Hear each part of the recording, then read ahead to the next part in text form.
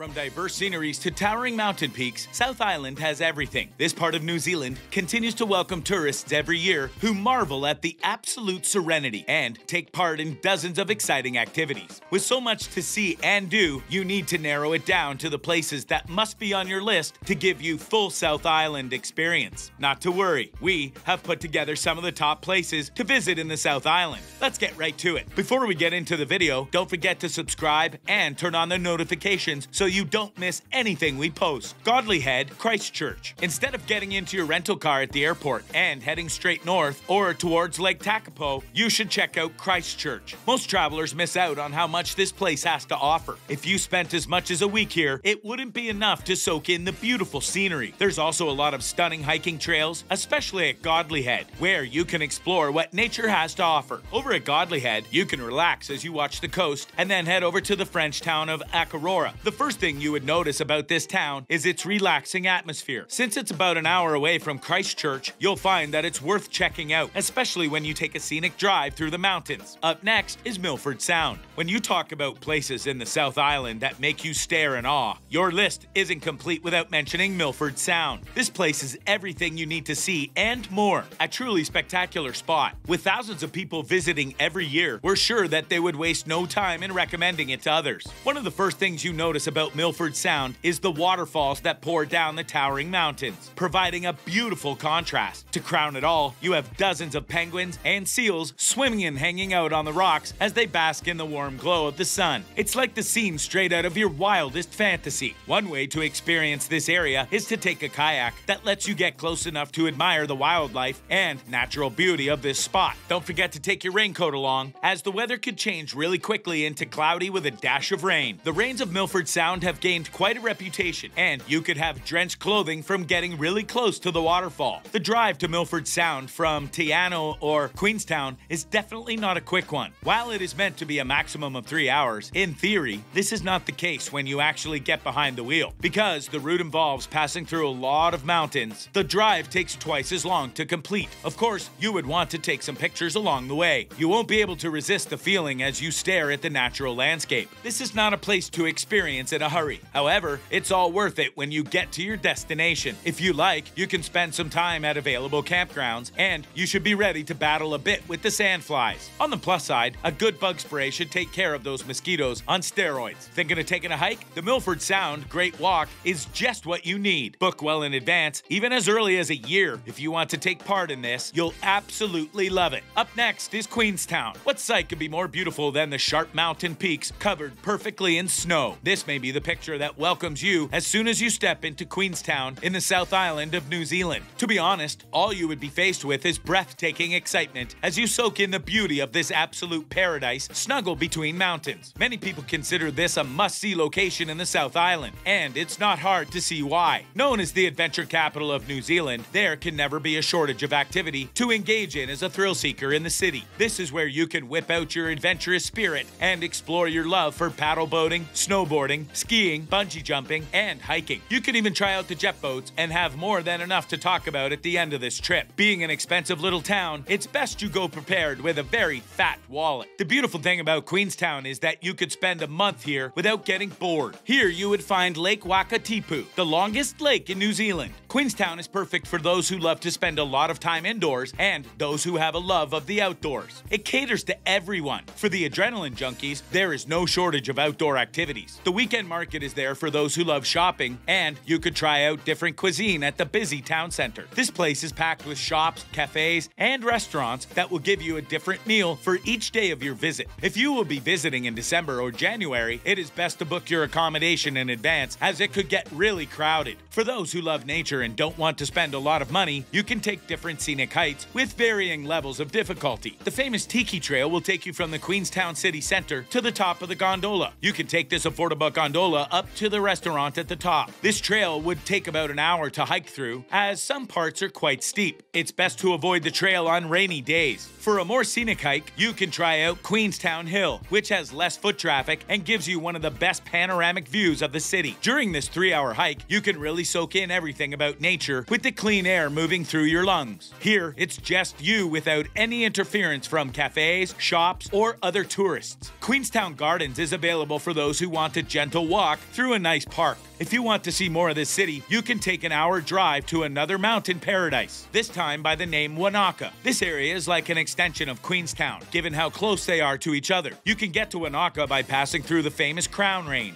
a drive that is an experience on its own. Trust us when we say that nothing prepares you for the sights. You would think you know what to expect, but the views beat your expectations flat. The beautiful Lake Wanaka reflects the mountaintops as it stretches into the distance. Unsurprisingly, water sports are popular in Wanaka as you can enjoy the beautiful views while playing around in the water. Renting equipment to indulge in this activity is a breeze. You could also catch some mountain biking action, but be sure to have all protective gear in place. Your experiences at Wanaka will make for an interesting story you can tell your loved ones over and over again. It's also a great idea to take a hike down Roy's Peak and visit the famous Wanaka tree. We could talk about these places all day, but you won't know how truly amazing it is until you have spent at least a weekend at this part of South Island. Up next is Franz Josef. Located at the base of the famous Franz Josef Glacier is the small town that goes by the same name. All around the town are towering mountains, while it is also a partial rainforest. This town might be small, but the scenery makes it seem like a massive paradise. You can take several hikes around the glacier, which is visible from the middle of town. Glaciers have always been one of nature's gifts that is a source of great wonder. Every year, millions of people visit different glaciers around the world. If you're not big on crowds, then the glacier in this small town is just right for you. If you want to view the magnificent blue color of the glacier closely, a helicopter tour would be perfect. It would take you to the top of the glacier where you would walk carefully through icy canals. The downside to this is that taking a helicopter tour could be really expensive. However,